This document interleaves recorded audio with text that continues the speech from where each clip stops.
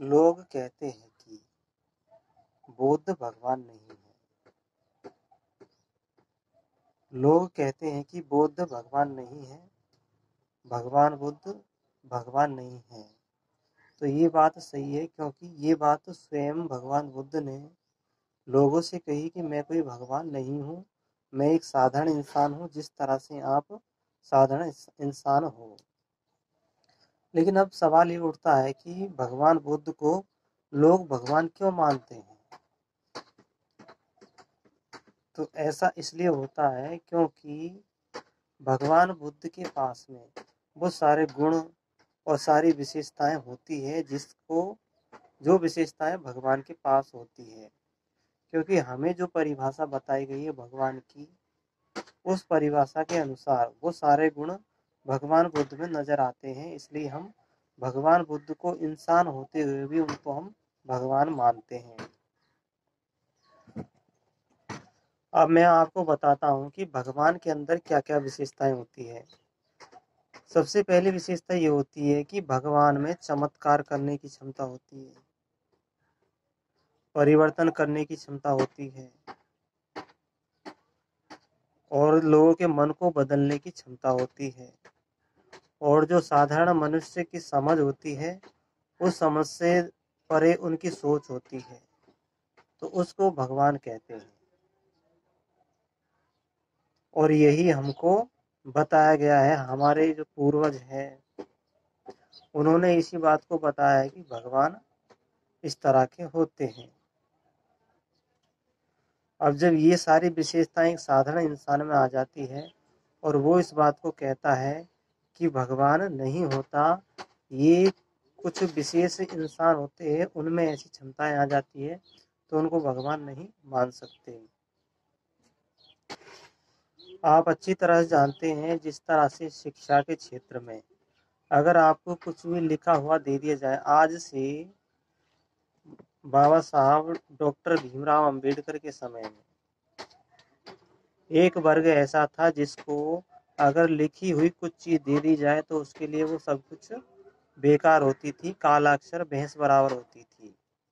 और उसी चीज़ को अगर किसी पढ़े हुए इंसान के पास में दिया जाता तो वो उसका मतलब समझा देता था। लेकिन वो उसका मतलब अपने अनुसार कुछ भी निकाल सकता था और कुछ भी बता सकता था और जो अनपढ़ होता था, उसको वह मानना होता था। अब सवाल ये उठता है कि जब ईश्वर की ईश्वर के विषय में जो लोगों को बताया गया है और वो सारी विशेषताएँ एक साधारण इंसान में आ जाती है और वो इसको, इस बात को जान लेता है कि ईश्वर नहीं होता तो इस बात से स्पष्ट होता है कि लोगों को बेवकूफ़ बनाया गया था ईश्वर के नाम पर। क्योंकि जो लोग बेवकूफ़ बनाते हैं, वो अच्छी तरह से जानते हैं कि ईश्वर नहीं होता।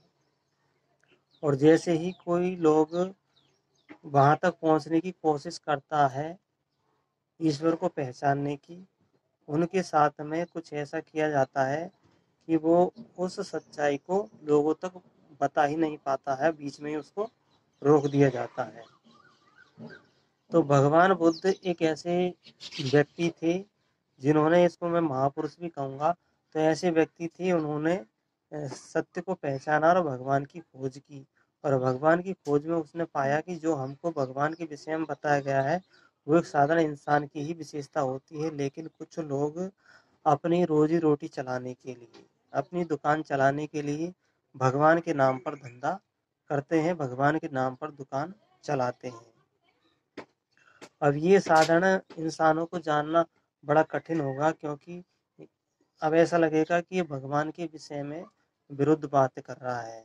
तो ये बातें करना बिल्कुल स्पष्ट है क्योंकि यह आप अच्छी तरह जानते हैं कि एक शिक्षित व्यक्ति और एक अशिक्षित व्यक्ति के लिए लिखे हुए अंकों का ज्ञान जिस तरह से एक बहुत बड़ी बात होती है। मैं आपको एक एग्ज़ाम्पल दे करके बताता हूँ कि एक समय ऐसा था अंग्रेज़ों के समय में, जब हमारे देश में एक वर्ग ऐसा था जिसको पढ़ने का बिल्कुल भी अधिकार नहीं था। और जब वह वर्ग अगर थोड़ा बहुत भी पढ़ना सीख जाता था तो उसकी तुरंत नौकरी लगा दी जाती थी। तो उस समय पढ़े हुए, पढ़े लिखे व्यक्ति को बहुत बड़ा समझा जाता था। और आज के दौर में देखा जाए तो उस पढ़ाई को सामान्य कर दिया गया है। और अब चाहे व्यक्ति कितने भी पढ़े लिखे हो, चाहे कोई सी डिग्री हासिल कर लो उसको एक सामान्य मनुष्य ही माना जाता है। तो आप इस बात से अनुमान लगा सकते हैं कि भगवान क्या होता है। तो भगवान नहीं होता, ये बात बिल्कुल सही है।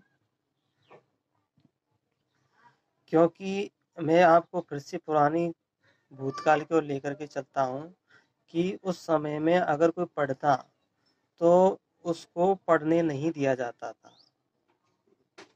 उसको ईश्वर के नाम पर रोका जाता था और उनसे कहा जाता था कि ईश्वर ने तुम्हारे लिए पढ़ना मना कर रखा है। यानी कि ईश्वर ने तुम्हारे लिए कह रखा है कि तुम लोग पढ़ नहीं सकते। अगर तुम पढ़ोगे तो तो जो शिक्षा है वो अपवित्र हो जाएगी। ये बात कही जाती थी उस समय लोगों से। और वो इसका फ़ायदा खूब उठाते थे, उनको पढ़ने नहीं देते थे और जैसे ही कोई पढ़ता उसके साथ में इस तरह का दुर्व्यवहार करते थे कि वो ना तो वो खुद पढ़ पाता था और ना ही और जो लोग थे वो उसको देख करके, उसके साथ जो दुर्व्यवहार होता था उसको देख करके वो भी पढ़ना लिखना की सोच भी नहीं सकते थे और वो भी अपने बच्चों को यही बताते थे कि पढ़ना लिखना हमारे लिए नहीं है। और ये भगवान का आदेश है कि पढ़ाई लिखाई कुछ विशेष व्यक्तियों को ही दी गई है और बाकी जो लोग हैं, जो काम करने वाले हैं, मजदूरी करने वाले हैं, उनको पढ़ने की अनुमति नहीं है, उनको अधिकार ही नहीं है पढ़ने का। अगर वो पढ़ते हैं तो पढ़ना एक अपराध माना जाता था उस समय में। तो आप इस बात से अनुमान लगा सकते हैं कि कि ईश्वर के विषय में लोगों के साथ में किस तरह से धोखा किया जा रहा है। ईश्वर के विषय में अगर कोई सवाल करता है तो उसको तुरंत ही उसका समाधान कर दिया जाता है, अर्थात उसको इस दुनिया से ही मिटा दिया जाता है। और लोगों के मन में डर पैदा कर दिया जाता है, जिससे कि लोग ईश्वर के विषय में सवाल करना ही बंद कर देते हैं। और यही बात भगवान बुद्ध के साथ में हुई थी। भगवान बुद्ध ने अपनी मेहनत से, अपनी तपस्या से, अपने लगन से और अपने लक्ष्य से, अपने ध्यान केंद्रण से शक्तियाँ और सिद्धियाँ हासिल की और उन सिद्धियाँ और शक्तियों को हासिल करके जब उसने देखा, लोगों ने देखा कि उनके पास में शक्तियाँ और सिद्धियाँ हैं तो लोग उनको भगवान मानने लगे। तब भगवान बुद्ध ने कहा था कि मैं कोई भगवान नहीं हूँ, सिर्फ़ मेरी जो मेहनत है, लगन है, उसी का परिणाम है कि मेरे पास में ये सिद्धियाँ हैं। तो तो उन्होंने इस बात को कहा था कि इस दुनिया में कोई भी भगवान नहीं होता, सब लोग साधारण इंसान ही होते हैं। अब मैं आपको जो भगवान के विषय में बताया गया है, उस भगवान के विषय में बता देता हूँ कि जब हमारे ऊपर कोई जुल्म होता है मतलब कि जो साधारण वर्ग होता है जिसको समाज अछूत कहता है, उसके साथ में अगर कोई लोग दुर्व्यवहार करते हैं, बुरा बर्ताव करते हैं तो उनकी रक्षा करने के लिए भगवान क्यों नहीं आता? और जो दंड देता है तो उनको भगवान ही क्यों नहीं देता दंड? एक विशेष वर्ग के लोग ही उनको दंड क्यों देते हैं? अगर उनसे गलती हो जाती है तो उनको सजा वही लोग क्यों देते हैं? ईश्वर क्यों नहीं देता? तो इससे पता चलता है कि वो लोग इस बात को अच्छी तरह से जानते हैं, जिन्होंने ये कहा था कि ईश्वर होता है, वो इस बात को अच्छी तरह से जानता है कि ईश्वर नहीं होता, लेकिन उन्होंने अपनी बुद्धि और दिमाग के ज़रिए इस बात को लोगों के मन में जिस तरह कोई भी तरीका अपना करके जिस तरह से कहते हैं कि शाम, दाम, दंड, भेद। ये नीतियाँ है और इन नीतियों को अपना करके उन्होंने लोगों के मन में इस बात को डाल दिया कि ईश्वर होता है और ईश्वर के खिलाफ जो भी जाएगा उसको सजा मिलेगी, लेकिन वो सजा देगा कौन? ईश्वर तो कभी किसी को सजा देने नहीं आता। वो सजा वही लोग देते हैं जिन लोगों ने कहा कि ईश्वर होता है। तो आप इस बात से स्पष्ट रूप से समझ चुके होंगे कि ईश्वर क्या है। तो ईश्वर नहीं होता, तुम जैसा कर्म करोगे वैसा ही फल पाओगे। अच्छा कर्म करो अच्छा फल पाओगे। तो ईश्वर के नाम पर बहकावे में नहीं आए, ईश्वर नहीं होता। तो मुझे उम्मीद है कि आपको यह वीडियो पसंद आया होगा। वीडियो को लाइक कर देना, चैनल को सब्सक्राइब कर देना, और अपनी जान पहचान वालों में शेयर करना, क्योंकि अब जैसे जैसे लोग शिक्षित होते जा रहे हैं, उन लोगों की जो पोल है उसको धीरे धीरे खोला जा रहा है। और मैं इन सब बातों में सबसे बड़ा योगदान कहता हूँ कि सोशल मीडिया। सोशल मीडिया एक ऐसा साधन है जिसके ज़रिए लोगों को इस बात की जानकारी हो जाती है कि वास्तविकताएँ क्या है।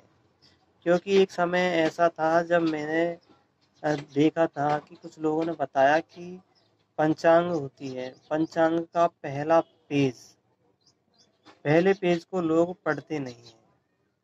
यानी जो लोग पढ़ते हैं, वो लोग पंचांग के पहले पेज को नहीं पढ़ते हैं। उस पहले पेज पर पंचिंग लगा करके रखी जाती है। तो ऐसा क्यों रखा जाता है? क्योंकि जो पहले पेज में कुछ ऐसी बातें लिखी हुई है अगर उन बातों को उन लोगों के सामने पढ़ा जाएगा तो वो लोग अपने आप को सवाल करने लगेंगे। तो इसलिए वो इस बात को जानते थे कि अगर ये बात एक विशेष वर्ग के पास में पहुंचेगी तो वह लोग हमसे सवाल करेंगे। तो उन्होंने उसको बंद करके रख दिया है, ताकि उनकी दुकान चलती रहे और लोग उनसे सवाल नहीं करें। तो उन्होंने बिल्कुल फिक्स कर रखा था कि वो सिर्फ़ कहेंगे और सुनेंगे नहीं। जिन्होंने ये कह रखा है कि ईश्वर होता है, उन लोगों ने एक नियम बना लिया कि हम सिर्फ़ कहेंगे और सुनेंगे नहीं। तो इस बात को लेकर के उन्होंने जितने भी अपनी पुस्तकें थी, धर्म ग्रंथ की, उन धर्म ग्रंथ की पुस्तकों में उन्होंने यही लिख दिया था कि हम सिर्फ़ कह सकते हैं, सुन नहीं सकते। अगर कोई हमको सुनाने की कोशिश करेगा तो उसके साथ में उचित कार्रवाई होगी। लेकिन लेकिन जो ईश्वर का दावा करते हैं कि ईश्वर होता है, उनके ऊपर कोई भी कार्रवाई नहीं होती। उनको हमेशा शुद्ध और पवित्र माना जाता है, ऐसा ही उन लोगों का कहना है। और इसी बात को लोगों के दिमाग में डाल दी गई है। और यह स्थिति केवल भारत की ही है। क्या विदेशों में भगवान नहीं होते? क्या विदेश क्या भारत ही एक ऐसा देश है जहाँ पर ये सब गतिविधियाँ होती है? तो इस बात को आपको समझना होगा और इस अंधविश्वास के पाखंड से आपको बाहर निकलना होगा और वास्तविकता में आपको जीना होगा। क्योंकि जो वास्तविक जीवन है वही एक सच्चा जीवन है। और जो अंधविश्वास है, जिसका ना कोई हाथ है और ना कोई पैर है, ऐसी चीज़ों पर विश्वास नहीं करें, आँख मूंद करके। जब तक सत्य को पूरी तरह से नहीं जान ले, तब तक उस पर उस पर विश्वास नहीं करें। क्योंकि जो भेड़ चाल होती है, कहते हैं कि एक भेड़ कुआँ में जाती है तो सारी भेड़ उसके साथ साथ कुएँ में चली जाती है तो ये आदत आपको छोड़नी होगी। चाहे आप पढ़े लिखे हो, चाहे नहीं हो, आपको इस बात को अपनाना होगा कि जो लोग हमसे कहेंगे, हम वैसा बिल्कुल नहीं मानेंगे।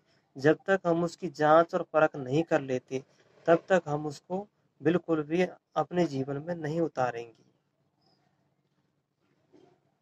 तो मैं उम्मीद करता हूँ कि भगवान बुद्ध ने स्वयं को भगवान नहीं कहा था, स्वयं को एक इंसान कहा था। तो इस बात से आप अच्छी तरह से सहमत हो। चुके होंगे। मैं आपसे उम्मीद करता हूँ और मैं उम्मीद करता हूँ कि आप सत्य को पहचाने और वास्तविकता में अपने आप को रखें, जो हमारे मन में कचरा भर रखा है, रूढ़ीवादी परंपराओं का, ईश्वर के नाम पर। और ईश्वर के नाम पर लोग हमको खूब अच्छी तरह से ठगते हैं आए दिन। हर रोज लोग हमारे हमारे सामने आ जाते हैं और ईश्वर की दुहाई देकर हमको खूब ठगते हैं और वो अपनी दुकान चलाते हैं। क्योंकि जो लोग हमको ठगते हैं, उनके पूर्वजों ने एक परंपरा बना रखी है, पीढ़ी दर पीढ़ी, कि जो वास्तविक जो ज्ञान है, सच्चाई का, वो सिर्फ़ उन्हीं लोगों को बताया जाता है, उन्हीं के ही वंशजों को बताया जाता है, और जो जो अन्य लोग होते हैं, उनको बताया नहीं जाता, और इसी वजह से वो लोगों का खूब शोषण करते हैं। और बाबा साहब डॉक्टर भीमराव अंबेडकर भी उन्हीं में से एक है। उन्होंने भी सत्य को पहचाना था और पहचान करके ही उन्होंने धर्म के विषय में कहा था कि धर्म, वास्तविकता में धर्म क्या है? तो तो मैं आपसे निवेदन करता हूँ कि आपको ये बात समझ में आई होगी और आपको बात समझ में आई होगी, ये मैं इस तरह से उम्मीद करता हूँ और मैं आपसे फिर से एक बात कहता हूँ कि आपको कोई भी काम करना है, अपने दिमाग से, अपने बुद्धि से ही करना है, किसी दूसरे की बुद्धि का उपयोग नहीं करना। दूसरे की बुद्धि का अगर उपयोग करना है तो उसको पहले समझना होगा कि वाकई में सही है या गलत है। धन्यवाद।